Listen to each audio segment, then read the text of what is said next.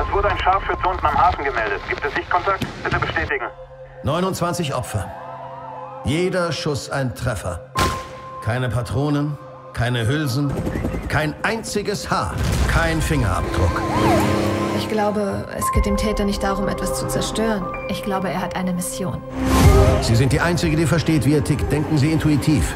Der Kerl ist auf einem Zerstörungsfeldzug. Ich erwarte, dass Sie ihm folgen.